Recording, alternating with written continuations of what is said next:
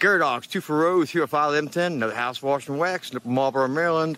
Here's your full video. They'll and after the video next. Gutterdogs, 240 255 1110, another house wash and wax, Marlboro, Maryland. Give us a call.